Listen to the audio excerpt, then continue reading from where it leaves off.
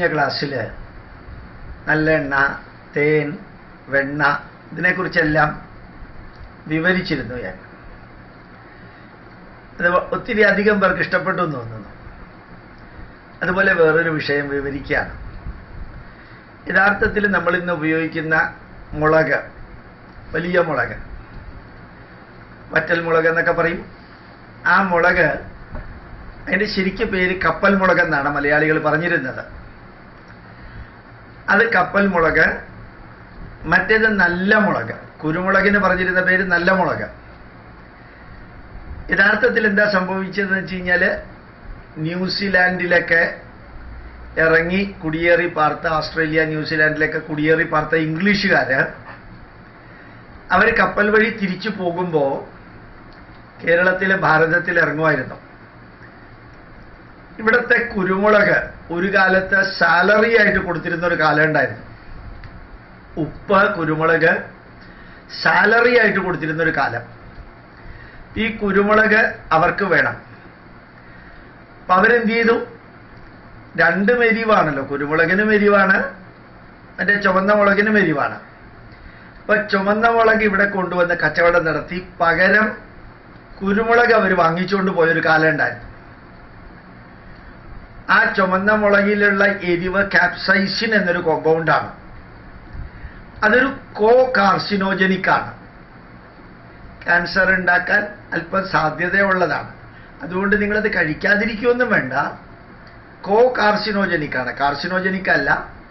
ചിലപ്പോൾ ചിലരിലെ ചില സമയത്ത് അത് ക്യാൻസർ ഉണ്ടാക്കാനുള്ള മറ്റ് ചുറ്റുപാടുകൾ ഉണ്ടായാൽ ഇതൊന്ന് സപ്പോർട്ട് ചെയ്യുന്നേ ഉള്ളൂ. അല്ലാണ്ട് ക്യാൻസർ ഉണ്ടാക്കുമെന്ന് പറയാൻ സാധിക്കില്ല. കോ കാർസിനോജനിക്കാണ് കാപ്സൈസിൻ പൈപ്പറിന് ഒരിക്കലും അങ്ങനെയല്ല. രണ്ടിനും എരിവാണ് ഉള്ളതെങ്കിൽ പൈപ്പറിന് ഒത്തിരി മെഡിസിനൽ പ്രോപ്പർട്ടി ഉള്ളതാണ്. അതുകൊണ്ടാണ് അതിന് നല്ല മുളക് എന്ന് പറയുന്നത്. ശരിക്ക് ഇന്നും ധാരാളം പൂണൂലിട്ട വിഭാഗത്തിൽപ്പെടുന്ന കുടുംബങ്ങളിൽ മരണം ഉണ്ടായാൽ പതിനാറ് ദിവസം അല്ലെങ്കിൽ പന്ത്രണ്ട് ദിവസം ഈ ചുമന്ന മുളകിട്ടുള്ള ഭക്ഷണങ്ങൾ ഭക്ഷണ വിഭവങ്ങൾ ആ മരിച്ച വ്യക്തിയുടെ അടുത്ത ബന്ധുക്കൾ ഭാര്യ മക്കൾ ഭർത്താവ് സഹോദരി സഹോദരന്മാർ ചുമന്ന മുളകിട്ട ഭക്ഷണം കഴിക്കില്ല. കുരുമുളകിട്ടതേ കഴിക്കുള്ളൂ. അതിന് കാരണം ഇതാണ്. ഒന്ന് വന്ന മുളകാണ്. ഇവിടെ ഉള്ളതല്ല. ഇവിടെ ഉള്ളതിനെ നമ്മൾ വളരെ ഭംഗിയായിട്ടുള്ള ഒരു വാക്ക് ഉപയോഗിച്ചു നല്ല മുളക്. കുരുമുളക് എന്നുള്ളതിനേക്കാൾ ഉപരി നല്ല മുളക് എന്ന് പലരും ഇപ്പോഴും പറയാറുണ്ട്. കാരണം അത് ശരിക്കും നല്ല മുളക് തന്നെയാണ്. നമ്മുടെ ഭാരതത്തിലൊരു വലിയ പ്രത്യേകതയുള്ള ഭക്ഷണം തന്നെ ഔഷധമായിട്ടും ഔഷധം തന്നെ ഭക്ഷണമായിട്ടും കഴിക്കുന്ന വീക്ഷണമുള്ള ലോകത്തിലെ ഒരേ ഒരു ജനവിഭാഗം നമ്മളാണ്. നമ്മളുടെ ഭക്ഷണത്തിൽ നോക്കുക സാമ്പാറിൽ ഇടുന്ന ഉലുവ വറുത്തിടാറുണ്ട് കുറച്ച് കടുക് വറുത്തിടാറുണ്ട് കരിവേപ്പില ഇടാറുണ്ട് മല്ലി ഇടാറുണ്ട്. അതുപോലെ തന്നെ അതിൽ കൊത്തമല്ലി പൊടിച്ചതിടാറുണ്ട്. അതെല്ലാം ഔഷധ ഗുണമുള്ളതാണ്. നമ്മൾ ഉപയോഗിക്കുന്ന ജീരകം ഉലുവ നമ്മൾ ഉപയോഗിക്കുന്ന പെരുംജീരകം ഇങ്ങനെ ഓരോ മഞ്ഞൾ മഞ്ഞൾപ്പൊടിയില്ലാത്ത കറികളില്ല. കരിവേപ്പില എല്ലാത്തിലും ഇടാറുണ്ട്. മല്ലി ഇല ഇടാറുണ്ട്. ഇങ്ങനെയുള്ളത് നമ്മൾ എണ്ണി എണ്ണി എണ്ണി നോക്കിയാൽ നമുക്ക് മനസ്സിലാക്കാൻ സാധിക്കും. ഭക്ഷണത്തിന്റെ ഭാഗമായിട്ട് ഔഷധവും ഔഷധത്തിന്റെ ഭാഗമായിട്ട് ഭക്ഷണവും വരുന്ന ഭക്ഷണത്തിൽ പഥ്യം എന്ന് പറയുന്ന പരിപാടിയുള്ള രാത്രി കിടക്കുന്നതിന് മുമ്പ് തൈര് കഴിക്കരുതെന്ന് പറയാൻ കാരണം ശരീരം വിശ്രമിക്കുകയാണ്. ഡൈജസ്റ്റീവ് പവർ കുറയും. ഫാറ്റ് ഡൈജസ്റ്റ് ചെയ്യാൻ ഒത്തിരി ബുദ്ധിമുട്ടുണ്ട്. ശരീരം അനങ്ങുന്ന രീതിയിൽ വേണം നമ്മൾ ഫാറ്റ് കഴിച്ചിട്ടുള്ള ജീവിത പ്രക്രിയ. ഇതെല്ലാം അറിഞ്ഞുകൊണ്ടാണ് നമ്മളുടെ ആചാരങ്ങൾ പലതും ഉണ്ടാക്കിയിരിക്കുന്നത്. ഇതെല്ലാം അറിഞ്ഞുകൊണ്ട് തന്നെയാണ് നമ്മുടെ ഭക്ഷ്യവിഭവങ്ങൾ ഉണ്ടാക്കിയിരിക്കുന്നത്. നമ്മളുടെ ഭക്ഷണത്തിൽ തന്നെ പുട്ടും കടലയും എന്നാണ് പറഞ്ഞിരിക്കുന്നത് എന്റെ കോമ്പിനേഷൻ നോക്കാം. പുട്ടിലുള്ള അരി നാളികേരത്തിലുള്ള എണ്ണ ആ പുട്ടുണ്ടാക്കാൻ നാളികേരം കടലയിലുള്ള പ്രോട്ടീൻ. ഇങ്ങനെ ഇഡ്ഡലിയും സാമ്പാറുമാണ്. സാമ്പാറിലുള്ള പരിപ്പ് പിന്നെ ഇഡ്ഡലിയിലുള്ള ഉഴുന്ന് പരിപ്പ് അരി. പിന്നെ ചിലപ്പോൾ നമ്മൾ പൊടി കൂട്ടിയിട്ട് എണ്ണ തേച്ച് എണ്ണ കൂടി ചേർത്തിട്ട് കഴിക്കും. അപ്പോൾ ഫാറ്റുമായി അങ്ങനെ എല്ലാത്തിലും ദോശയും ചമ്മന്തിയും.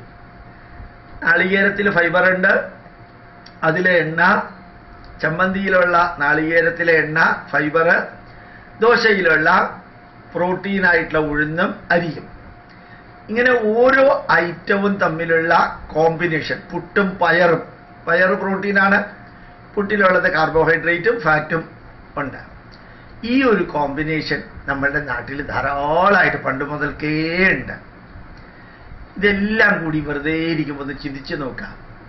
നമ്മുടെ പൂർവികർ ചെയ്തതിലും പറഞ്ഞതിലും അറിഞ്ഞുകൊണ്ട് ശ്രദ്ധയോടുകൂടി പരിശോധിച്ചാൽ തുറന്ന മനസ്സോടുകൂടി പരിശോധിച്ചാൽ അതിലൊക്കെ സയൻസ് ഇന്നത്തെ കാലഘട്ടത്തിൽ വിവരിക്കാൻ സാധിക്കുന്ന സയൻസ് ഉണ്ട്.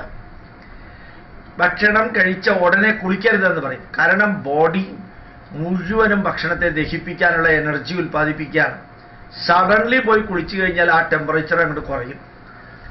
അതിന്റെ അതിന്റെ ഇത് നോക്കുക നല്ലോണം വിയർത്തോണ്ടിരിക്കുമ്പോൾ ഊണ് കഴിക്കരുത് പറയും. എന്താ കാരണം? എനർജി മുഴുവനും വേറൊരു ലെവലിലേക്ക് മാറ്റിയിരിക്കുകയാണ്. അപ്പോൾ ഡൈജഷൻ നടക്കാൻ ബുദ്ധിമുട്ടുണ്ട്. അതുകൊണ്ട് കുറേ വിയർത്ത് ജോലി ചെയ്തിട്ട് കുറേ വിശ്രമിച്ചതിന് ശേഷമേ ഭക്ഷണം കഴിക്കാം.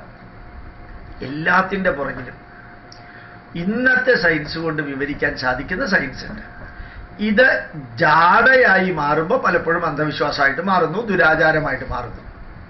ഈ ജാടയാകാതിരിക്കാൻ ശ്രദ്ധിക്കണം. ഇല്ലാത്ത കൃത്രിമ സയന്റിഫിക്കേഷൻ ഇല്ലാത്തതിനെ ശാസ്ത്രവൽക്കരിക്കാൻ ഒട്ട് ശ്രമിക്കാനും പാടില്ല. ഉള്ളത് ഉള്ളതുപോലെ അറിഞ്ഞുകൊണ്ട് ചെയ്യുക. ഭക്ഷണത്തിന് മുമ്പ് ഒരു പ്രാർത്ഥന എന്ന് പറയുന്നത് പൂജാമുറിയിൽ പ്രാർത്ഥിക്കേണ്ടത് ഭക്ഷണത്തിന് മുമ്പ് പ്രാർത്ഥിക്കുമ്പോൾ നമ്മുടെ ശരിക്കും സലൈവറി ഗ്ലാൻഡ് ആക്റ്റീവ് ആക്കാൻ വേണ്ടിയിട്ടുള്ള പ്രാർത്ഥനയാണ് ചോറ് നോക്കിക്കൊണ്ടിരുന്നാലും മതി. ചോറ് നോക്കി അല്ലെങ്കിൽ ഭക്ഷണം ഓട്ടോമാറ്റിക്കലി വായിൽ വെള്ളം വരും. ആ ഉമിനീരകത്തേക്ക് പോയതിന് ശേഷമാണ് ഭക്ഷണം അകത്തേക്ക് പോകുന്നത് ഡൈജഷൻ പെർഫെക്റ്റ് ആക്കാൻ. എല്ലാ ചെറിയ കാര്യങ്ങൾക്ക് പുറകിൽ പോലും ഇന്നത്തെ സയൻസ് കൊണ്ട് ഞാൻ വീണ്ടും പറയാൻ കാരണം സയൻസ് കൊണ്ട് വിവരിക്കാൻ സാധിക്കുന്നു എന്ന് പറയുമ്പോൾ ഒരു തെറ്റിദ്ധാരണ ഉണ്ടാവും. പണ്ടുള്ളവർക്ക് ഈ സയൻസൊക്കെ അറിയാമായിരുന്നു എന്ന്. ഒരുപക്ഷെ പണ്ടുള്ളവർ ഇതേ രീതിയിൽ ഇതൊന്നും എക്സ്പ്ലെയിൻ ചെയ്യില്ല. അവർ ആചാരത്തിന്റെ ഭാഗമായിട്ടൊക്കെയാണ് എക്സ്പ്ലെയിൻ ചെയ്യുക. നമുക്കിന്ന് സയൻസ് ഉപയോഗിച്ച് എക്സ്പ്ലെയിൻ ചെയ്യാൻ പറ്റും എന്ന് പറയാനാണ് ഇന്നത്തെ സയൻസ് ഉപയോഗിച്ച് എക്സ്പ്ലെയിൻ ചെയ്യാൻ പറ്റുമെന്ന് രണ്ട് മൂന്ന് പ്രാവശ്യം ആവർത്തിച്ചത്. പ്രണാമം നമസ്കാരം.